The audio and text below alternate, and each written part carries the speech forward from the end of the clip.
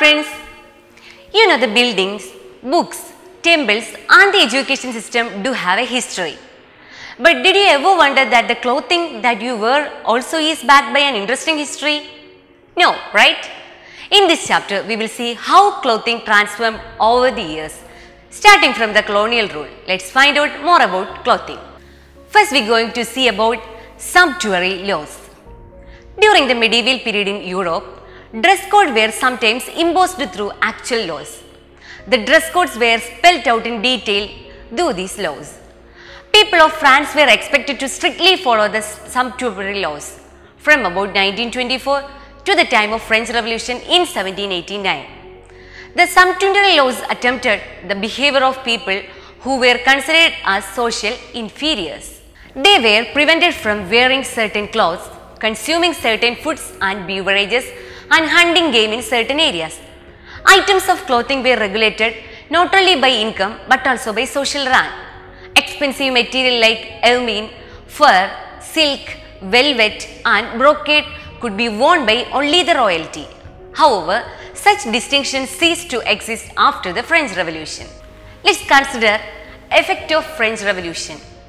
During the French Revolution, members of the Jacobin clubs wear dresses without knee breeches.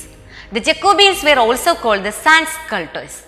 People began to wear loose and comfortable clothes. Blue, white and red were the dominant colors of dresses as these colors symbolize the nationalism in France.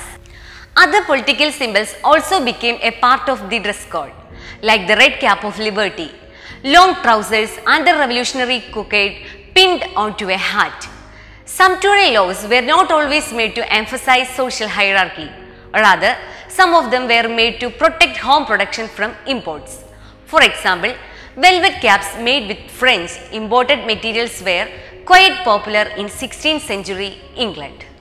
A law was passed to compel all persons over 6 years of age to wear woolen caps made in England on Sundays and holidays. This law did not apply to those at high positions. This law remained in force for 26 years and was very helpful in building up to the English woolen industry. Even after the end of the sumptuary laws, differences between social strata remained. But difference in income now determined the way a person dressed. People from different economic background developed their own clothing style based on the sense of fashion, decency and practicality. Clothing style was also determined by gender differences. While men were expected to be serious, strong, independent and aggressive, women were expected to be delicate, passive and docile. From childhood, girls were laced up and dressed in stays. Stay is a kind of support in a woman dresses to keep the upper body straight. Older girls had to wear tight fitting corsets. Wearing a corset means inflicting huge pain on the body. Nevertheless, corsets were worn to maintain a slim waist which was considered ideal for women. How did women react to these norms? Many women believed that it was their duty to remain docile and graceful as per the prevalent social norms. They thought it was their duty to bear whatever pain and suffering they had to while maintaining a slim waist. Next one, reforms for clothing. However, things were changing over the 19th century. By the 1830s, the English women began their agitation for democratic rights. When the movement for voting rights gained momentum, many also began a campaign for dress reform. Women's magazine described the problems associated with tight dresses and corsets. A similar movement developed among us the wild setters in America. Traditional feminine clothes were criticized on various grounds. It was argued that long skirts swept the ground and collected filth and dirt, which was not good for hygiene. The skirts were voluminous and restricted movement. They prevented the woman at workplace. Women felt that comfortable and convenient clothes would allow them to work and to earn.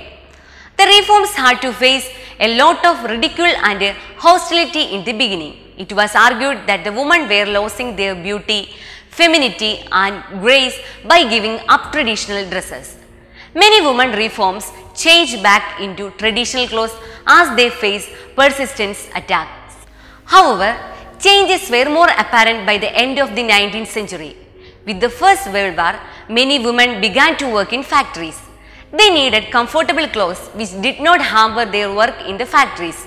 New materials for clothing came into use. This development also changed the dresses. Let's see about new materials. Clothes made of flax, linen or wool were difficult to clean and hence most of the ordinary women did not possess such clothes before the 17th century. After 1600, trade with India brought Indian chintz into Europe. The Indian chintz was cheap, beautiful and easy to maintain. During the Industrial Revolution in the 19th century, mass production of cotton textiles began in England.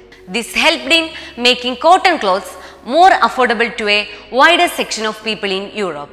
Artificial fibers came into use by the early 20th century. Clothes made by artificial fibers were cheaper and easier to maintain. Consider about the war. The two world war had profound impact on women's clothing.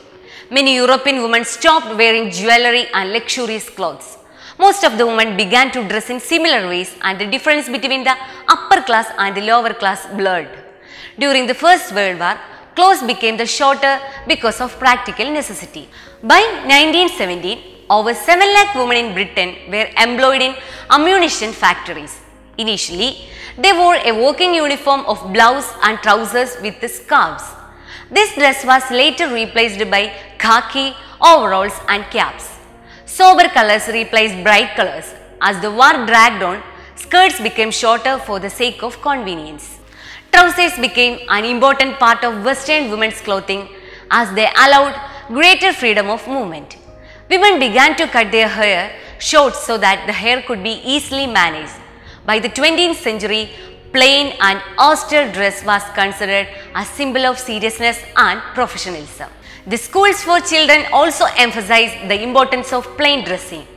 Entry of gymnastics and games in the school curriculum for women also paved the way for comfortable and convenient clothing. Okay, let's see about clothing in India.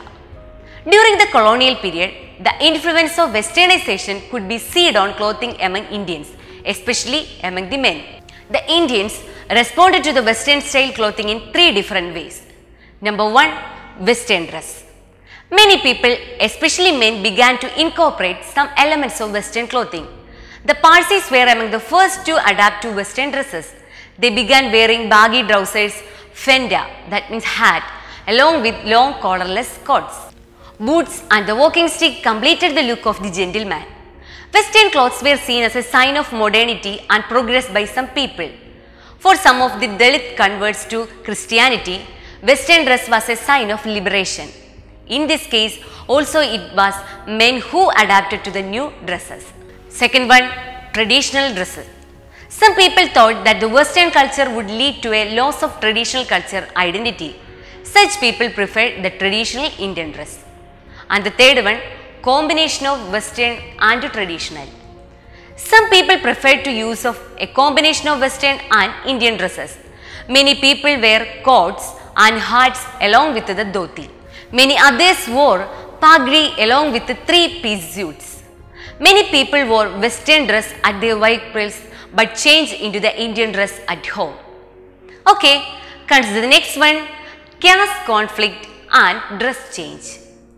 India had its own strict social codes of food and dresses which were based on the caste system. Some of the dress and food were strictly forbidden for lower caste people. Changes in clothing style often created violent social reactions because such change threatened the established social norms. The Shanars were the subordinate caste in the princely state of Travancore. The Shanar men and women were allowed to cover the upper body. During the 1820s, the Shanar women began to wear tailored blouse after they were influenced by the Christian missionaries. The Nayars attacked the Shanar women in May 1822 for wearing a cloth over their upper body. The government of Travancore issued an order in 1829 to prevent the Shanar women from covering their upper body. But the conflict lingered on for a long period. After many years of conflict, the government finally passed an order which allowed the Shanar women to cover their upper body, but not in a way the upper caste Hindu women do. Moving on to the next topic, British rule and dress codes. Specific clothing items often convey different meanings in different cultures. This can lead to misunderstanding and conflict. Let us take the example of turban and hat. For an Indian, pagri was a sign of self-respect and the pagri should always remain on the head to maintain that self-respect. For a British, taking off his hat to show respect for someone was part of his culture. When an Indian did not remove his pagri in front of a British official, it was considered as a sign of rude behavior. Let us take the example of shoes. Indians take off their shoes when they enter a place of worship. Many Indians also take off their shoes when they enter their homes. Some decorum was also maintained when someone visited a person of high authority. The British followed this practice when they visited a Raja or Shifain. But they also wanted the Indians to follow the same practice by entering a high office. But many Indians did not obey this rule because they felt that an office is quite different from a home or a place of worship. See the next topic, designing the national dress. During the freedom struggle, many intellectuals began to design a national dress which could portray a pan-Indian identity. Rabindranath Tagore suggested a combination of Hindu and Muslim elements to design such a dress. The long button coat, that is chapkan, was the result of such thought process. Jnanadanandini Devi, wife of Satyendranath Tagore, returned from Bombay to Calcutta in late of 1870s. She adopted the Parsi style of wearing the sari. She pinned the sari on the left shoulder with a brooch and wore it with a blouse and shoes. Her style was quickly adopted by the women of the Brahma Samaj. This came to be known as the Brahmika sari. Moving on to the next topic, the Swadeshi movement. The Swadeshi movement began as a mark of protest to partition of Bengal in 1905. During the Swadeshi movement, people were argued to boycott British goods. The use of khadi was promoted with much vigor. Women were asked to throw their silks and glass bangles. The changes to such calls were limited to upper class women because the poor could not afford khadi. After about one and a half decade, even the upper class women resumed wearing the dress they previously wore. Next one, Mahatma Gandhi's experiment with clothing. Mahatma Gandhi probably used the symbol of clothing more powerfully than anyone else. All of us are familiar with the image of Mahatma Gandhi wearing a short dhoti and nothing else. Initially, Mahatma Gandhi thought of wearing such a dress for a short duration, but later he was convinced of the appeal of such powerful symbol. Mahatma Gandhi also promoted the use of handspun khadi in order to promote the idea of Swadeshi. He even went on to attend the second roundtable conference in his trademark dress. But since khadi was costly and difficult to maintain, it could not gain in popularity. Machine mold clothes from Manchester were cheaper and affordable to the masses. Most of the nationalist leaders preferred to wear traditional dhoti kurta or pajama kurta, but those dresses were seldom made of khadi. Some of the nationalist leaders like Jinnah and B.R. Ambedkar preferred western suits. For Ambedkar, wearing a suit was a sign of liberation from the age-old repression of the Dalits. The women leaders wore saris. Okay friends, this is the end of the chapter. Hope you we are studying this chapter very well. We will meet again through another chapter. Till that, goodbye.